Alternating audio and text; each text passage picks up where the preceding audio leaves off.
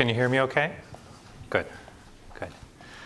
Uh, I'm going to walk around. I've been in uh, three continents in four days, so if, if, I stand still, I'll probably drop over uh, sleep at some point. Uh, thank you for the invitation to come here. I'm very happy to be here. I'm very excited to talk about one aspect of fintech. Fintech is having a lot of effects on financial markets and the provision of financial services, and I think in no area is it having more concrete effects already than in artificial intelligence. So I'm very excited to talk about this. Now, I think I have about 20 to 25 minutes to talk, and I'm going to leave about five minutes for questions, hopefully. I get excited, and I'll give you lots of stories, so maybe I'll eat into some of that time. I have to start with a disclaimer. I'm speaking on my own behalf, not on behalf of the governors of the Federal Reserve or the Federal Reserve System, so please don't get me in trouble by saying I'm speaking on their behalf. I want to talk about three things. First, I want to try to give you a definition of what artificial intelligence is. I think with 100 people in the room, there's probably 100 different ideas of what it is, and maybe they're not all the same. So I want to try to sort of level set so that we're all on the same page and try to give you a sense of the difference between artificial intelligence and big data and machine learning. I want to talk about how it's being used in finance, and I think this is really important because there are so many different use cases and they are across a wide spectrum of parts of finance. And I think this is really important because when you go to a conference on blockchain or distributed ledger, you'll hear a lot about the proofs of concept. Here's all the things we might be able to do with this technology at some point in the future. With artificial intelligence, every example I'm going to give you is something that's already being utilized, already being offered by a company for financial services. And then as I talk about these use cases, I think you'll start to see the financial stability implications as I try to sort of describe different ones. And at the end, I'll, I'll use a couple of slides just to bring them all together.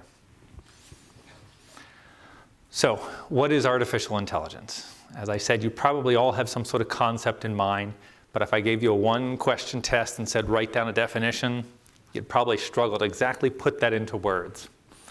So I do want to start by trying to sort of knock down some of the misconceptions about what artificial intelligence is.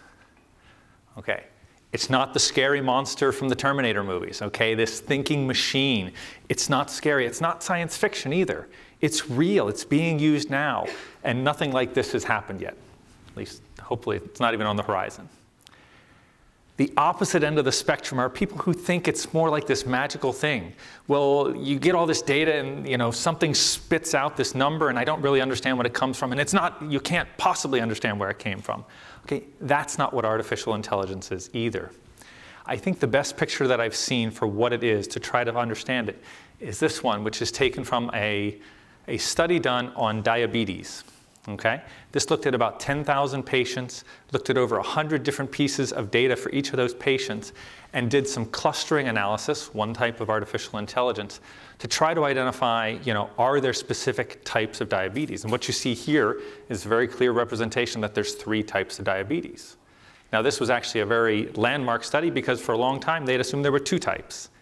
Now, there were some people, some doctors who had suggested that, yeah, I think there might be another type that we haven't quite identified yet.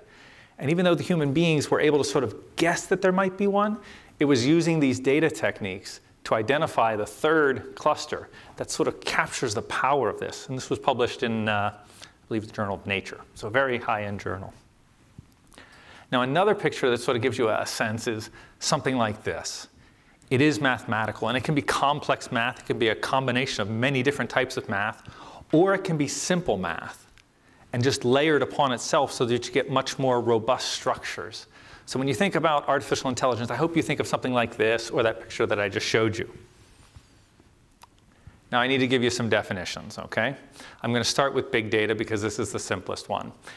Uh, I'm going to give you three definitions. All of them are taken from an FSB report, and if you get access to the slides, if they get posted on the website, uh, the final slide actually has a link to it and uh, the citation. Big data is just the storage and analysis of large or complex data sets. Okay? This is becoming more and more common because storage is so much cheaper, so we can get more data, which means there's a greater supply of people wanting to sell us this data, and now we have the processing power to analyze this data. So this is not new, but it's becoming more and more common. Now this is the important one. What is artificial intelligence? So if, if I gave you the one question test, this is the answer that I'd want you to give me, okay? The development of systems able to perform tasks that have traditionally required human intelligence. And I think that's the key there, traditionally required human intelligence. So the most uh, common example, the easiest example to think of is language processing. 10 years ago, if you spoke to your computer, it sat there and did nothing. Or if you spoke to a little device sitting on your laptop or uh, in your, your smartphone, nothing happened. But now you can talk to them. They process language. They're using artificial intelligence to process language. And there are even applications out there that will now translate what you're saying into another language in just about real time. So it's almost like out of Star Trek. Okay? But there's other aspects to this as well. Humans traditionally were the ones that identified patterns. They said, I think there's a linear relationship in this data, and they ran some sort of regression and they found a result. Now we can set the computers to look at these data sets and say, we think there's a pattern, go see if you can find it. Even if we don't tell them what the pattern is that we think might be there. This is what we mean by artificial intelligence. Machine learning, I think, often gets lumped in with artificial intelligence, and I do think that's somewhat appropriate because I think it's a subset of artificial intelligence. And this deals with the, the specific algorithms that are supposed to optimize things, okay? Using whatever experience they've had on previous data sets but the idea is that it's done with little or no human intervention. In some cases, you give it a whole bunch of data sets and say, these are the outcomes that I like from these past data sets, replicated on these data sets. Okay? Graphically, I took this again from this FSB report. If you start with artificial intelligence, you can do that with big data sets or without. So there is some overlap between them, but they don't have to be completely connected. So I think we can separate big data and artificial intelligence at times. And the same is true for machine learning. I think it's a subset of artificial intelligence, and you can apply it to big data, or you can apply it to traditional and smaller data sets. So I hopefully have helped level set here. So how is it being used in finance? Okay. I want to start with the consumer-facing applications, because these are the ones that we're all aware of. Okay. I have some great stories about chatbots and virtual assistants, but they have very limited connections to financial stability. So if you want to know, ask me at lunch. Uh, it's hard for me to bite my tongue because they're some of my favorite stories. Insurance pricing. There's some really interesting things going on out there. There's some Chinese websites, merchant retail websites, where you can go and make a purchase. And when you make that purchase, you click purchase, and the next screen it says, would you like to buy insurance? For example, if I wanted to buy this tie, you know, and make sure I got it before I left, for this trip. It might have said, do you want to buy insurance to make sure this shows up on time? And it shows you the price right there, 17 cents, something like that. Now that price is actually determined for each individual item after you click purchase. It looks at where the retailer is located, where you're located, looks at a whole bunch of similar transactions, figures out how often it was late, and comes up with a price. That's done in nanoseconds. And they do that using clustering techniques and artificial intelligence. Fascinating application for this micro insurance market. Credit scoring is one that's gotten a lot of attention. We've heard a little bit about fintech credit today. A lot of these fintech credit providers are assessing people without a traditional credit score, and they do that using non-traditional data. They might look at social media accounts. Some of them look at things like Amazon purchases. And they do this, and they're able to assess credit in a different way. That might have a financial stability implication. It could have multiple. One is that it increases potentially financial inclusion. People who didn't have access to credit now have access to credit, for better or for worse. The other thing might be that these are non-traditional, non-tested methods of assessing credit and perhaps increasing credit to the wrong people at the wrong time. Now, some of the things that we don't hear as much about are the operations and the back office sort of issues and where this is being used. A lot of this has been going on for years and we just haven't kept up with it. Some of the most interesting, I think, are the capital optimization uh, uses. So there are firms out there that are basically saying, look, you hold too much capital, that's costly for you. You hold too little capital, you're going to get in trouble. So you want to hold just the right amount of capital. But it's a very complex decision, and every day asset prices are going up and down. Your own strategy is changing what your balance sheet looks like. There's just too many variables to do this in a very sophisticated and very efficient way. But they develop tools that will help firms keep the best amount of capital at any given time, forecast when they're going to have to purchase more, let them know that you won't need as much capital in the future, cancel those capital raising plans. Very similar stress testing. Firms are stress testing themselves. We're stress testing firms.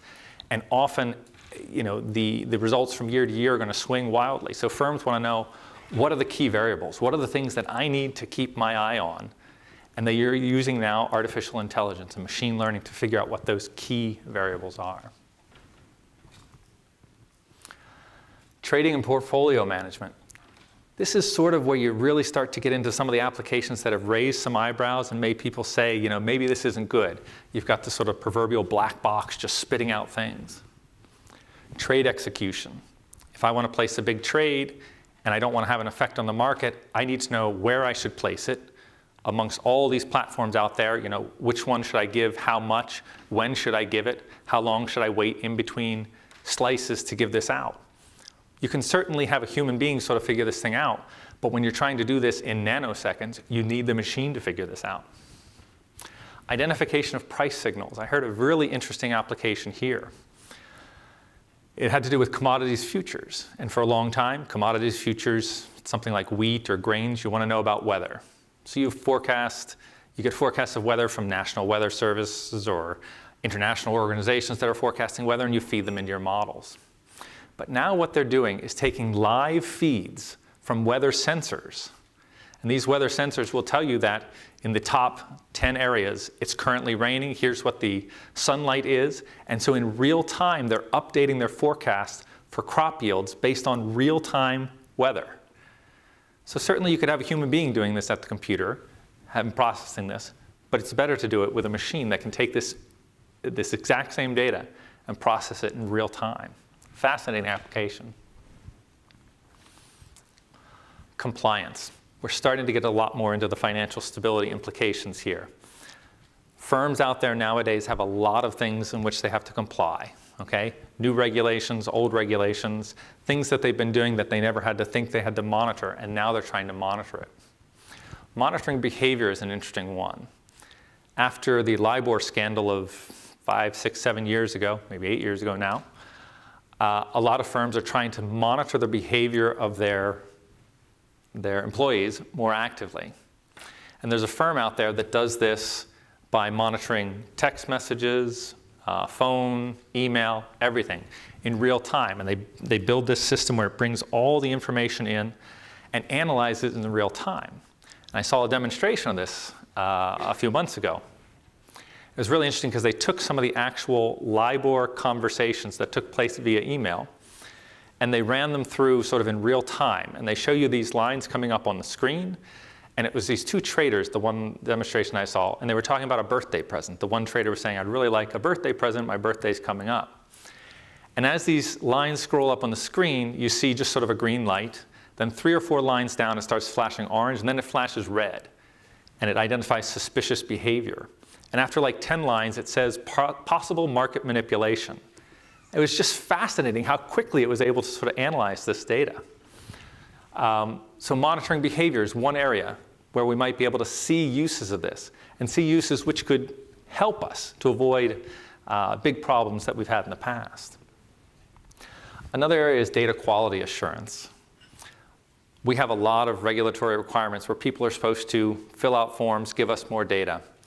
Obviously, they want to avoid the types of errors that are going to lead to embarrassing mistakes, whether it's fat-fingered errors or sending in the wrong data. Traditionally, we've had human beings looking at this. And somebody who's looked at it for 20 years looks at it and says, well, that's clearly a bad number. And they just sort of develop a, an understanding for what's good and what's bad. But now they have programs that analyze that same data sheet. And they look not only for fat-fingered errors, the obvious, wow, that's actually supposed to be a million, not a billion, those sorts of errors but they also look at trends. Well, this data was trending up and now it's trending down. Are you sure that data is correct? They also look at correlation. If you submit 1,000 variables, they will look at the correlations of all those variables and identify that traditionally, all of these 73 variables tend to move in the same direction, and three of them didn't move in that direction this time. This is something that a human being is not going to capture, okay? But now these programs can do it in a much more active, much quicker, much more real-time basis. The flip side of this is the supervisors, okay? We are now trying to do all the compliance monitoring for these firms, okay? If we get that same regulatory report, we're gonna wanna make sure that the data are accurate. We're gonna wanna make sure that the trends that we see, the trends that we're concerned about, are being monitored. So we might not be looking for the same things. I might be looking at the leverage of the firms or the maturity transformation that's taking place, other things than what the firms are. But I could use this sort of um, technique to monitor that in real time. Fraud detection. The credit card companies are becoming much, much better at identifying fraud. Okay? They can do it in real time. They're looking at a much broader set of data, not just where the transaction took place and the amount. What was the good being purchased? How long has it been since you last purchased this good? That sort of thing, which will hopefully make it easier for folks to travel around the world and not have their credit card stop when they try to make a purchase at a uh, Chinese pharmacy. Not that that happened to me anytime recently. Okay, I want to talk a little bit about systemic risk identification. This is probably obviously of great interest to the European Systemic Risk Board. So let me talk a little bit here. I have a picture here taken from a, a machine, uh, an artificial intelligence firm, used with permission, and it, it'll become obvious on the next slide who this firm is. Typically, we look at patterns like this. The one on the left is the one that economists have looked at for years, and they said, oh, look, there's a pattern there, there's a line, I'm going to run a regression, I'm going to get a result. I think most of us, if we saw these other patterns, we'd go, yeah, well, I don't know, my regression techniques aren't going to work on this. I can run a regression on that loop there, but it's just going to give me a flat line. We don't typically use these sorts of patterns. Now you look at them and you say, well, if I saw this pattern, I would obviously not run a linear regression. I would recognize that this is there. But this is obviously a very gross oversimplification. We might see these patterns in 100 dimensions or 50 dimensions, depending on what sort of system that we're looking at. So they're not always this obvious, okay? Now using techniques to find patterns like this in data can lead to pictures like this. This is taken from a firm called Ayasdi. They're an artificial intelligence firm. I do not endorse them necessarily. They happened to let me use this picture, so I told them I would make sure that their name showed up. What they're showing here Using the same techniques that led to that diabetes picture, they're applying it to about 150 economic variables over 30 years. This is monthly and quarterly data, and trying to see if they can identify pieces of the economic cycle. Now, it's certainly not as distinctive as that uh, diabetes picture. You can see some clustering, but it's not quite as, quite as easy to see. Now, in the presentation, and they didn't give me this slide, they then put an overlay on it where it shows the recessions and the uh, the expansions, the contractions, all that, it becomes a little bit more interesting to see the patterns that are there. But what they're using are basically those clustering techniques. They're looking at the same kinds of simple patterns, the loops and stuff that we have available to us, but we've ignored up till now. Now, this is macro data, so maybe not as plentiful as financial data, but if you want to look at systemic risk, you could apply these same things to the perhaps thousands of financial variables that we have. And that might allow us to see a little bit more than this sort of picture.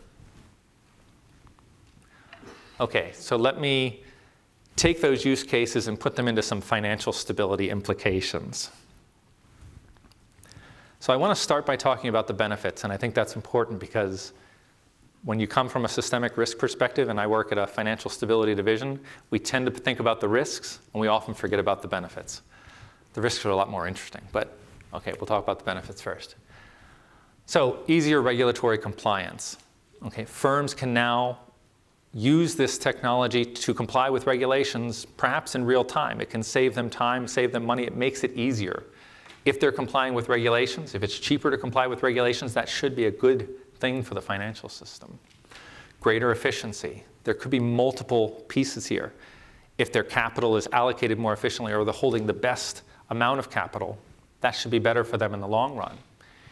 Or you could think about just the speed with which people could move financing to the right locations. Or it could be something like the financial inclusion angle.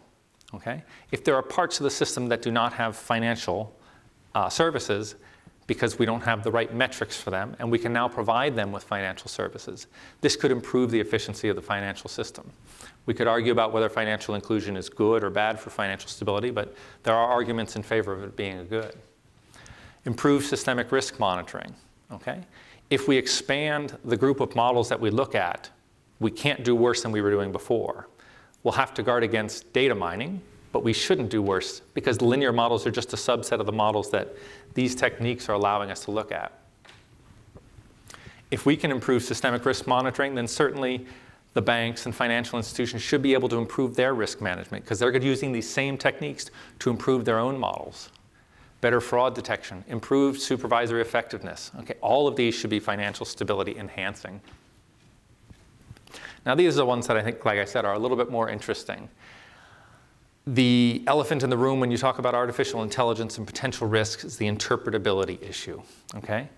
We're human beings, we like to be able to explain things. When a plane crashes, we want to know why. And ironically, we, we, we get the black box to figure out why, which is kind of a, a strange uh, uh, uh, use of the term there.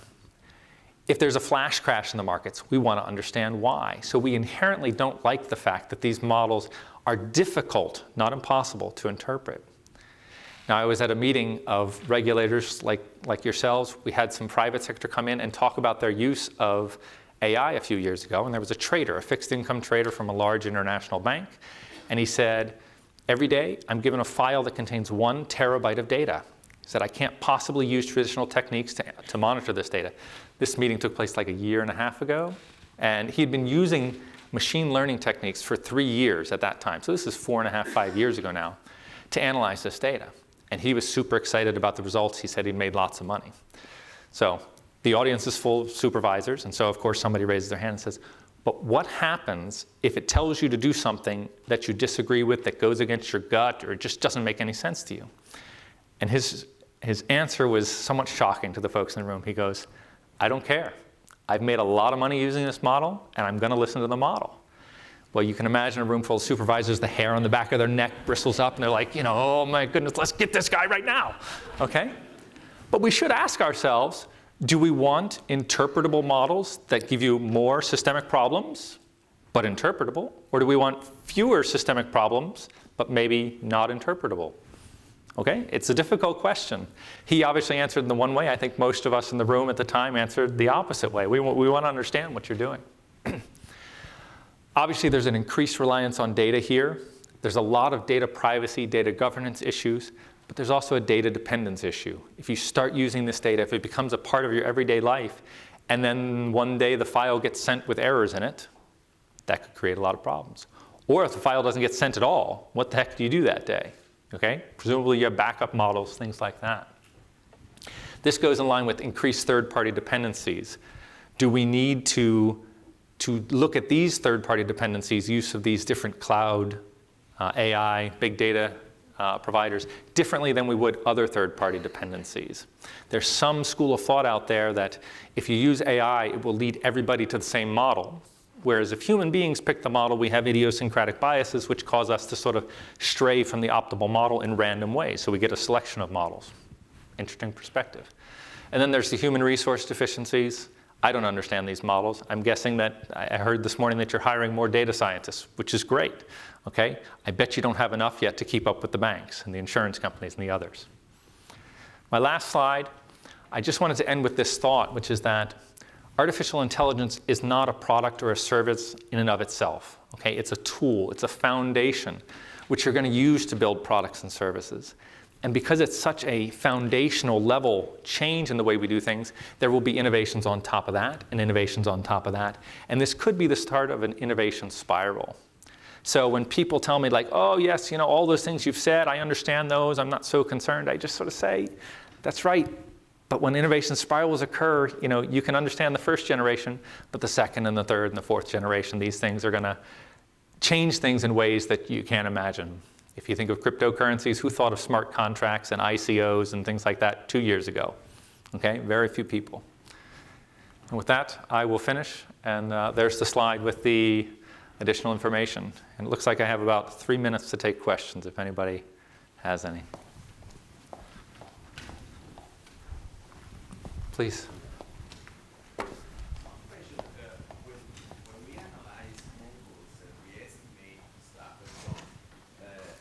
Beside, po beside point estimates, we are at least as uh, concerned to get like confidence intervals.